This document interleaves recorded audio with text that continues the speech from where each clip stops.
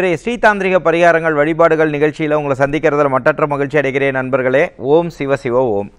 இன்னைக்கு நம்ம பார்க்க போகிற தாந்திரிக ரீதியான வழிபாடுகள் என்ன அப்படின்னு பார்த்தீங்கன்னா இதில் வந்து நம்ம சக்தி வழிபாடு.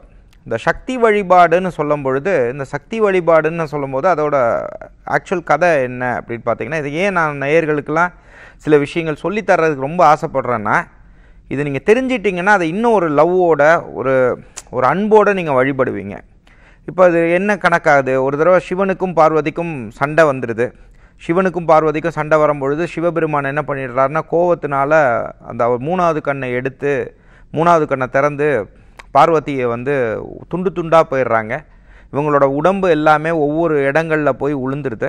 அந்த தூள் தூளாக போய் உளுந்த இடத்துல வந்து பார்த்திங்கன்னா ஐம்பத்தோரு இடத்துல விழுகிறதாகவும் அது வந்து சக்தி பீடங்களாக இன்றைக்கும் நம்ம பக்தியோட ஸ்ரத்தையோட வழிபாடுகள் பண்ணிட்டு மாபெரும் வெற்றிகள் இப்போ நடந்துட்டு இருக்குங்கிறது தான் உண்மை.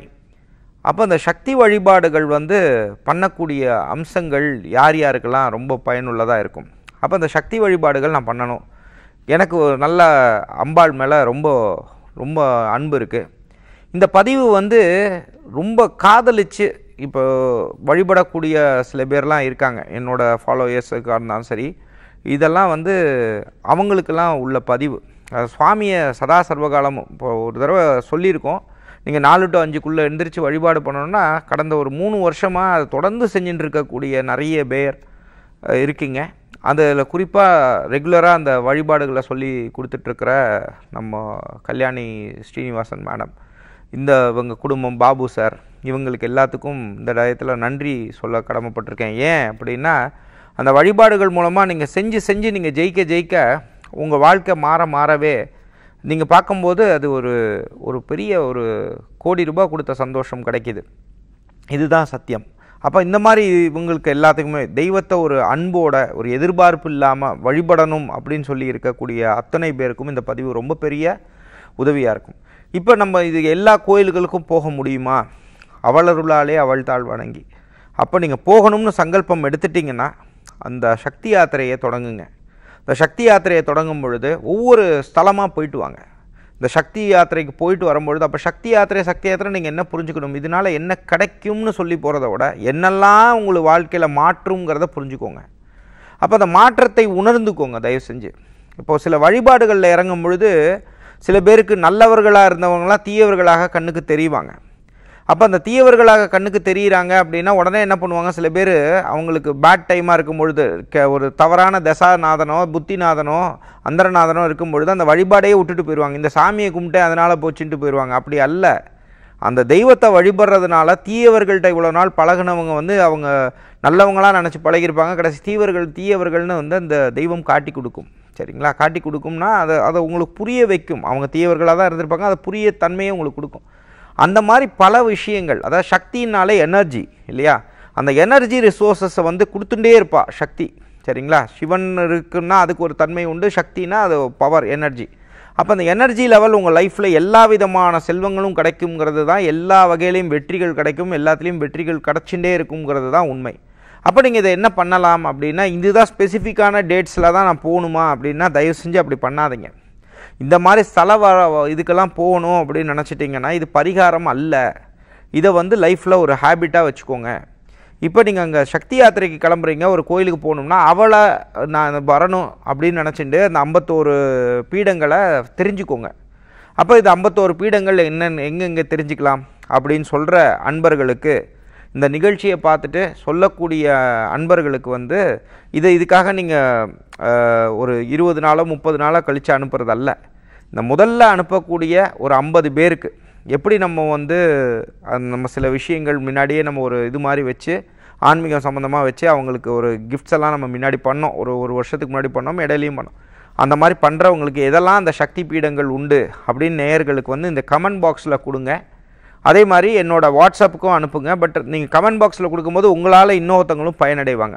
அந்த கோயில்களுக்கு நீங்கள் தொடர்ந்து போயிட்டே வரும்பொழுது அந்த கோயில்களுக்கு எந்தெந்த கோயில்களுக்கு உங்களுக்கு உத்தரவு வருதோ அந்த கோயில்களுக்கு விடாமல் போயிட்டு வாங்க. இந்த ஐம்பத்தோரு கோயில்கள் நீங்கள் போயிட்டு வர்றதுக்குள்ளேயே உங்கள் வாழ்க்கையில் மிக பிரம்மாண்டமான வெற்றி கிடச்சிருங்க. அப்போ இந்த கோயில்களுக்கு போகும்போது எல்லா விதமான சக்திகள் கிடச்சிருக்கும் போது இதை நீங்கள் தொடங்குறதுக்கு ஒரு நல்ல இதில் பண்ணணும் இல்லையா? அதுக்கு நீங்கள் என்ன பண்ணுங்கள் அமாவாசை பௌர்ணமி தேய்பிரை அஷ்டமி வளர்பிறை அஷ்டமியில் உங்கள் குலதெய்வத்துக்காக காசு எடுத்து வச்சு அதே மாதிரி இந்த பூஜைகள் பண்ணுறது வந்து சரி இப்போ நம்ம பண்ணுறோம் இந்த பூஜைகள் பண்ணுறோம் இந்த பூஜைகளை வந்து நம்ம வீட்டிலேயே பண்ணலாமா? ஐம்பத்தோரு சக்தி பீடங்களை வீட்லேயே வச்சு வழிபடலாமா? ஒரு சில பேருக்கு உடல் ரீதியாகவும் மன ரீதியாகவும் சில பிரச்சனைகள் இருக்கும். அப்போ அந்த அதுக்கு நீங்கள் என்ன பண்ணலாம்? அந்த ஐம்பத்தோரு சக்தி பீடங்களோட திருவுருவப் படங்களை தாராளமாக இதெல்லாம் நீங்கள் ஃபஸ்ட்டு நம்பணும். ஐயோ இத்தனை சுவாமி நான் ஆற்றுல வச்சுட்டேன்னா அது இந்த இதில் இந்த இதில் பண்ணிட்டா இந்த பிரச்சனை வந்துருமோ? அப்படிலாம் பயப்படக்கூடாது. சுவாமினால் நமக்கு எந்த தொந்தரவும் வராது.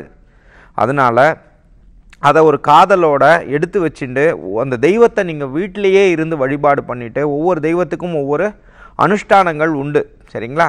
அப்படி ஒரு வேளை அந்த சக்தியோட அனுஷ்டானங்கள் வேணும் இந்த ஐம்பத்தோரு சக்தி இதோட அனுஷ்டானங்கள் வேணும்னு சொன்னால் நீங்கள் வந்து வாட்ஸ்அப்பில் கேட்கலாம். என்னால் உடனடியாக என்னால் சொல்ல முடியாது பட் ஒருவேளை நீங்கள் அந்த மாதிரி அது ஒரு பேசிக்கான வழிபாடுகள் நான் பண்ணிக்கணும் அப்படின்னு சொல்கிறவங்களுக்கு என்னென்ன பண்ணணுங்கிறத நான் ஒரு ஃபார்மட்டாக ரெடி பண்ணி தரேன்.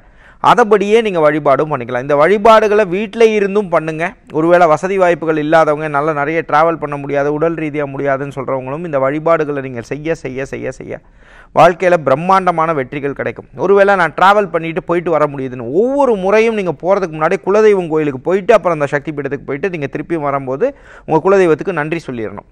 சரிங்களா? இப்போ இந்த மாதிரி இது ப்ரா பிரார்த்தனைகளை நீங்கள் தொடர்ந்து செஞ்சுட்டே வாங்க. இது இன்னும் உங்கள் நம்ம லெவலில் நம்ம சொல்லணும் அப்படின்னு சொன்னால் புரியிற லெவலில் சொல்லணும்னா எதிரிகள் தொல்லை காணா போயிடும்.